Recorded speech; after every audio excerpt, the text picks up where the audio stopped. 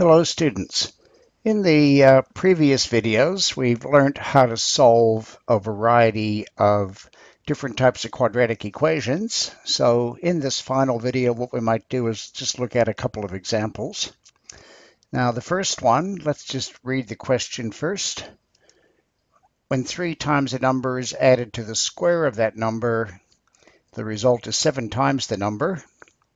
Using the equation to find the number, given that it is greater than zero. So this is what I call a mathematical application. It's not a real life application. It's just, you're still just working with numbers. So all we really have to do differently here is uh, take the words and turn them into an algebraic equation. Okay, well, I'm going to let the letter x be the unknown number since that's what we've been using.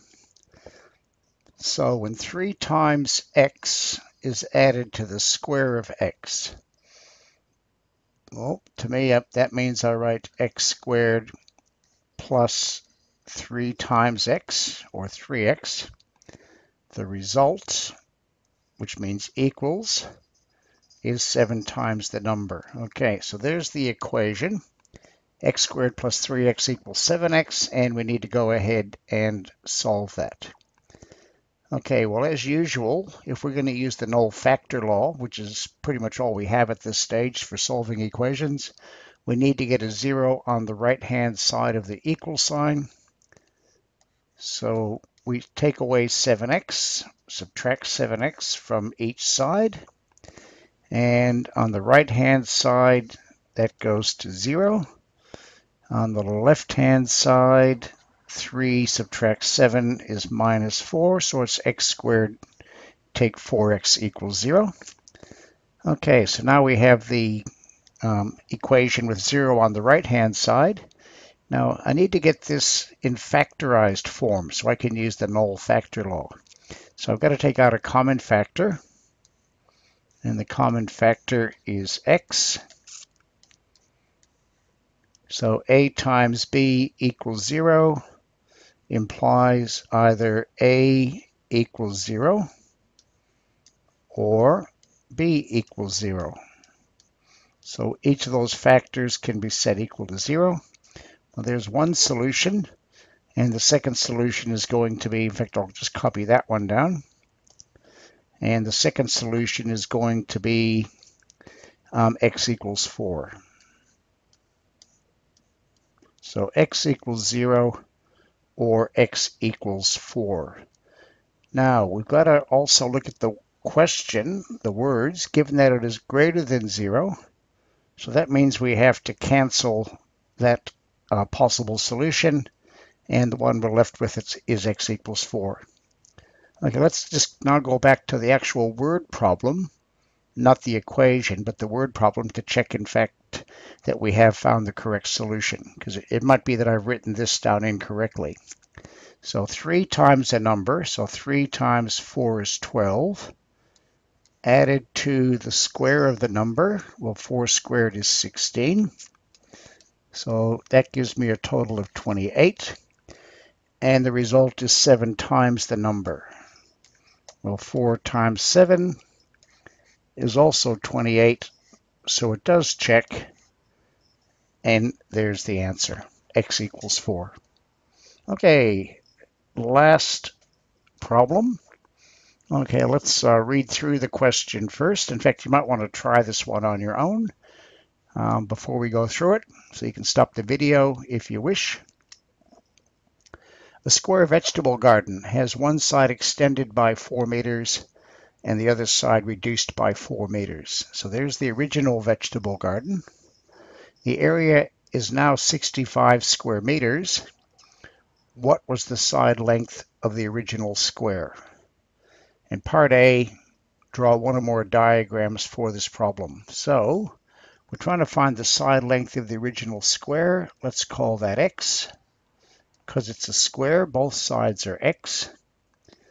And what we've done is we've modified it. So this side has been reduced by 4 meters this side has been extended by 4 meters. So we've now got a length of x plus 4 and a width of x minus 4. And we're being told that the new area is 65 square meters. Okay, well, area of a rectangle is length times width. So x plus 4, x take 4, and that must give us 65. Okay, so there's our equation that we need to solve. And because we don't have a zero over there, I can't use the um, difference, of, difference of two squares quite yet. That only works if that's zero. So the first thing I have to do is expand that.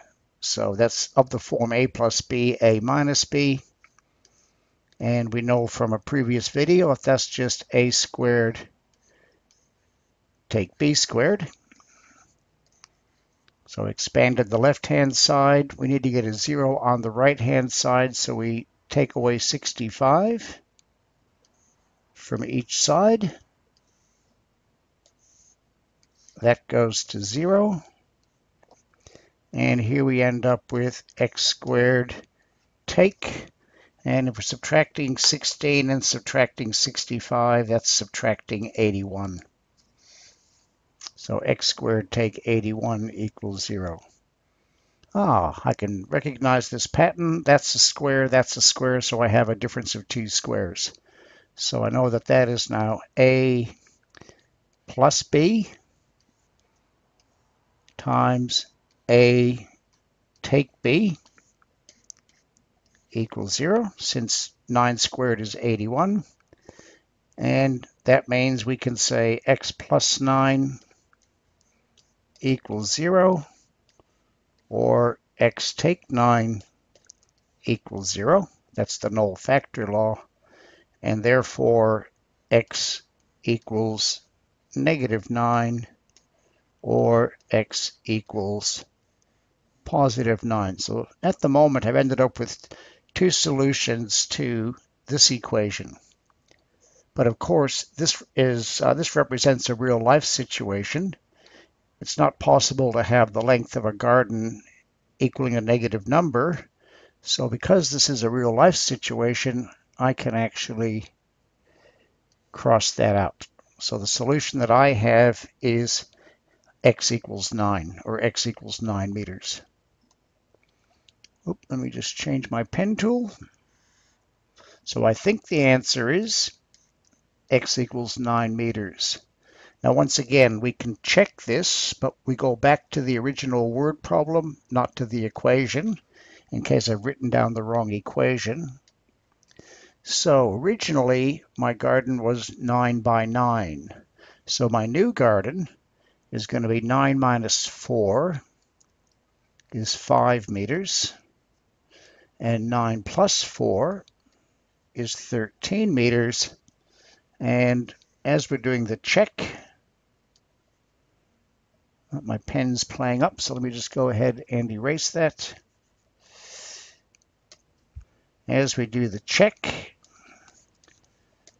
we've now got an area of 13 by 5, which equals 65, and that checks against the question. So therefore, that is the right answer. Okay, well, that's the end of the videos on uh, sol well, just on quadratic relationships in general and on solving quadratic equations for this last set of videos. Now, there's more to be done on solving quadratic equations and graphing quadratic equations, but all of that's going to be done in year 10 mathematics. So we're pretty much finished with this for now. Okay, goodbye, and uh, get out that textbook and start working through the exercises in the textbook.